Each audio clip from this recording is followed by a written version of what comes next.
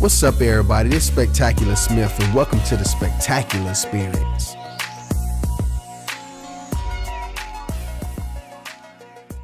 What's up, everybody? This is Spectacular Smith, and welcome to the Spectacular Experience. All right, everybody. Today, I want to get into mindset because I feel like this is the biggest thing ever. People talk about it, but I don't feel like people are implementing it into their lives as much as people should be. Because one thing about mindset is that when you actually push your mind to the hardest path, it can actually take you to places that you can never dream of, you know? And I think that in life, period, it's just a big mind game and you're your own competitor. You're your own competition at all times. When you fighting against yourself, that's a whole nother situation. So you got to be focused on what matters to you and build your mindset around that. Figuring out what all the things that you have to do to equip yourself with the right mindset. You got to reprogram your brain and own it. You have to program your brain to what you want it to do. So if you want your brain to go through certain things and then learn from those things, but not only just learn from, but own it, take ownership with those things that you went through and use it as a stepping stool, use it as a strength, a superpower that you can actually hold, you know, dear to your heart and give you strength and that extra power you need to push. Because at the end of the day, your brain is always trying to find a less difficult path. That's what it's programmed to do, regardless. Automatically, it's going to go left if going hard is going right. Shift it to that hard thing that's going to challenge you and make you uncomfortable.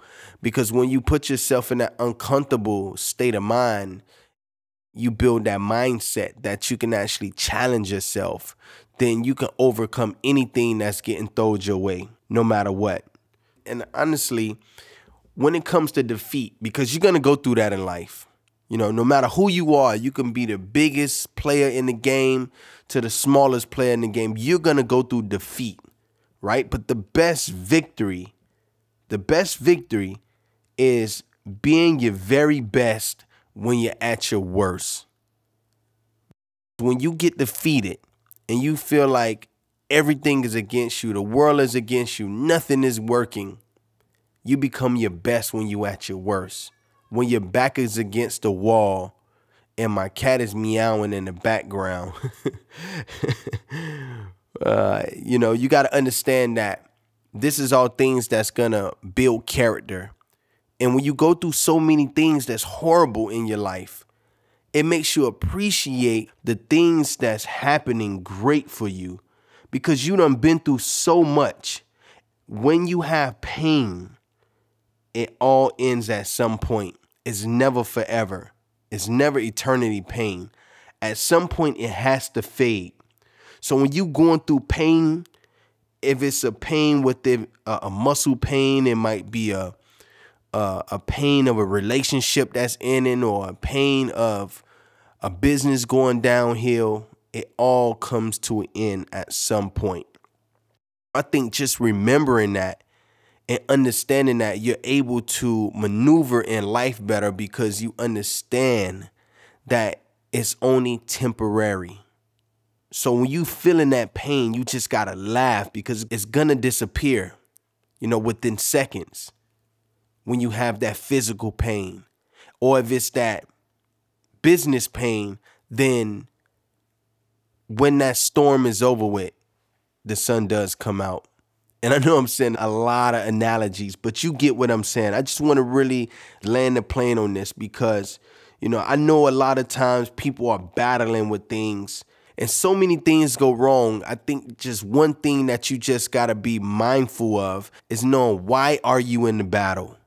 And the only way for you to stay in the battle is for you to know why are you in the battle in the first place when you're going through the situation, it's good to reflect on the things that I'm saying so you understand more on how to handle it and how to make sure that you're executing at your highest potential by knowing why you're in the battle. Is performing at your highest potential, to understand that everything is temporary, all pain is temporary. Just laugh at it because it's just gonna end soon. You know, figure out what is so funny in the situation. That's some of the questions I ask myself. What is something that's funny out of this situation? And just figure that out. What can I laugh about in this situation? I mean, it works amazing, you know, and it brightens your day up. Just a crack a smile, it changes your whole mood. I hear a lot of times that people say, like, man, they feeling alone when they going through these issues. You got to understand that in order for you to be at your full potential, you have to choose people that surround you that's going to make sure that you're performing at your highest capabilities. Make sure that you are at your highest standard at all times and push you. Once you around people with the same mindset, you're able to push yourself and push each other as a community or brotherhood or sisterhood see each other grow and benefit off of it. Sometimes you just might feel like giving up. Sometimes you just might feel like, man, it's over for me. But you can't believe everything you feel. Your mind to try to trick yourself on feeling this way. But in reality, that's not supposed to be the way that you feel. You got to step up out that thing and you just got to say, man, you know what? I'm not feeling this way no more. I'm going to take control of my life. I'm going to take control of my feelings. I'm going to take control over my destiny and I'm going to do something about it. And I'm going to put the right people around me that's going to push me to my highest standards and make me admit to my downfalls and my imperfections and own it because that's what it's about. It's about owning your downfalls because everybody go through things in life. Ups, downs, peaks, valleys. It's about going through those things, those humbling experiences that make you appreciate life. So you just got to have constant reminders, you know, to earn everything in your life, no matter what it is. Earn it. You want that glass of water? Earn it.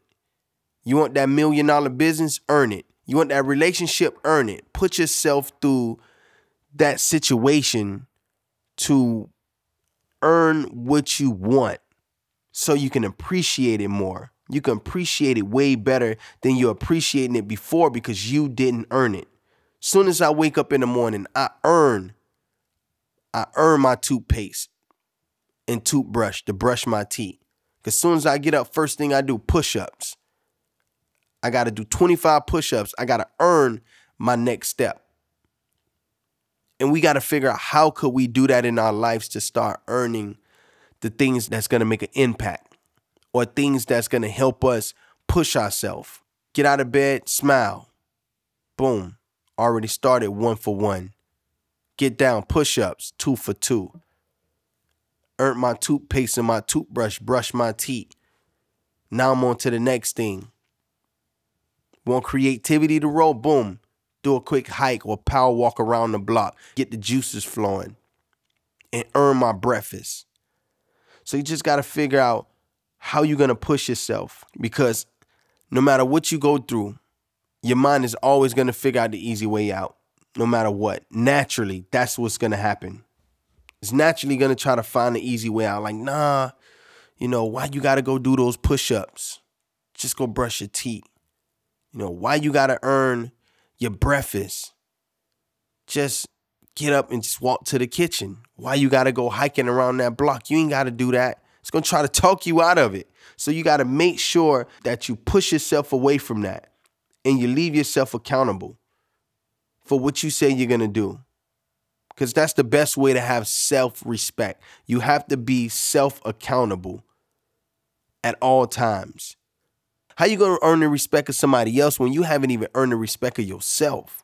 You have to be self accountable. So if you say you're gonna do that, then you gotta make sure you do it. Sign a contract with yourself, stating the things that you're gonna commit to for yourself and build that self credibility.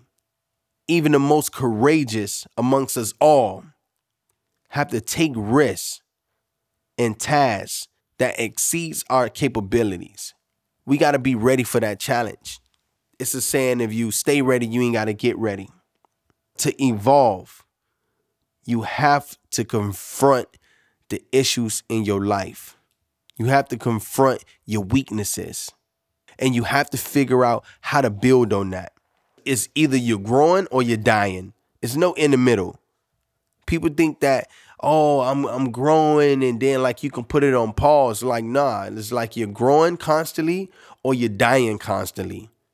Which one are you? You got to pick.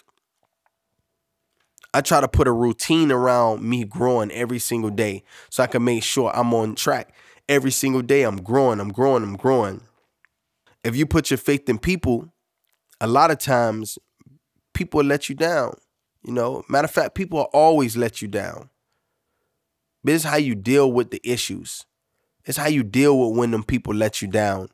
Either you can be the person that that sees it for what it is and understands, or you could be the person that's depressed, wondering why. And just remember this in the champion story, it's always a message for you. So when you seeing Rocky Balboa and you seeing the guy who saved somebody out of the building, the kids and the cats out of a building, it's always a message for you to pick out of that. So pay attention when you're seeing these things and hearing these things and hearing these stories and seeing these certain individuals do certain things, what could you take out of that and implement it into your life? That's something you got to think about. When you really look and listen to the things that's happening in the world of heroes and champions, what can you take out of that story? What message could you take out of that story? even if you're not championing on something, you need to be your own champion. You need to be your own cheerleader. Because sometimes you might not have nobody jumping out with a whole band to celebrate your wins. You got to be your own cheerleader. A lot of people, by them not having that, they try something once and they just give up. That's it. They try one time, it ain't work, they give up or they tried, they go hard, it ain't what they thought it was gonna be, and they quit. Everybody that you see successful, all them had their ups, all them had their downs. But I guarantee you, a lot of them ain't had those moments where every single time they have those moments, somebody is in the corner cheering for them. They gotta cheer for themselves. They gotta pat themselves on the back and say, "Man, you the shit. You're great. You deserve this." And the reason why I know I deserve this, and this is me talking to myself, it's because I hold myself at a higher standard at all times. I take responsibility and make it a part of my life. If I mess up, I take ownership in that. And I figure out how can I make that better? By me thinking this way, it's always thinking positive, that positive power. You know, write down the things that that's happening to you and take responsibility for them. Because when you take ownership, you're able to turn that ship around and figure out what you not doing correctly and fix it. Empower yourself. Empower your mindset. Your mindset is controlling your future. Don't become that victim. Don't have that victim mentality. Oh, it's her fault. It's his fault you know, is is is this person's fault. Everybody but your own fault. You have to find motivation in everything negative. Period.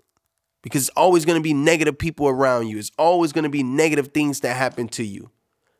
So just figure it out. Correct your mindset. Don't dwell on things too long. Take ownership. Figure out the things that's not going right in your life. Take ownership and fix it. Challenge yourself. Earn things. Just don't give it to yourself. Make yourself earn it. Hold yourself to the highest standard. Keep people around you that's going to hold you to higher standards. And you hold them to higher standards.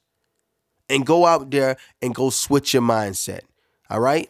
So I need everybody to go ahead and I don't care who you are, if you're listening to this, I need you to end this and go and leave me a rating, please. this is one of the only ways that I get feedback that drives me to keep doing this thing is reviews and also telling somebody who you feel like needs to hear this and that's going to actually benefit off of the things that I'm saying. To share it on your social media, Twitter, Instagram, Facebook, tag me so I can reshare you.